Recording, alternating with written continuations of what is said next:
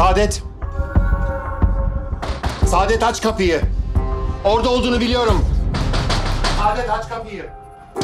Aç. Kıracağım kapıyı bak ciddiyim. Aç kapıyı diyorum sana. Aç. Sen. Sen ne yapıyorsun ha?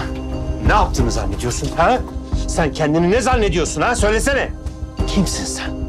Kimsin söyle. Azade'ye o videoyu sen mi verdin? Ha? O kuş beyninle beni tuzağa mı düşürdüğünü zannediyorsun? Konuşsana. Konuş. Rahat bırak kızı. Sade. Sade.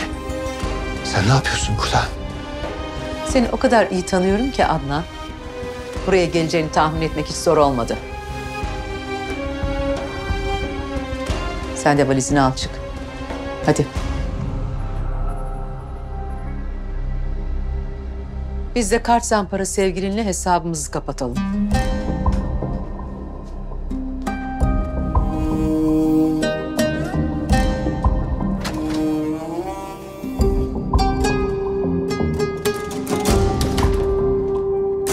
İmzala şunu. Ne bu? Boşanma protokolü. Daha önce şartları söylemiştim. Bu da yazılı hali. Kabul etmezsem ne olacak? Sen bilirsin. Seni sadece Antakya'ya değil, bütün Türkiye'ye rezil ederim. Utanç dolu videom bende. Hatırladın mı? Tek bir şartla kabul ederim. Neymiş o şartın? Bu videoyu tamamen sileceksin. Her şeyi imha edeceksin. Tamam. Anlaştık.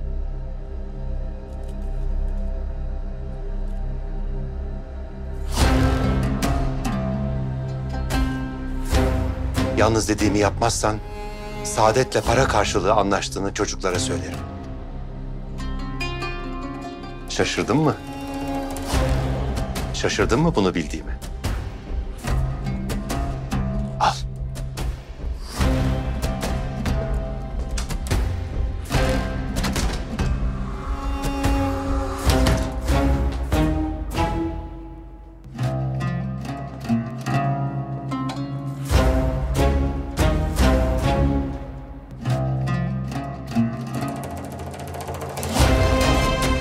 Kerim. Videoyu yok et. Evet her yerden.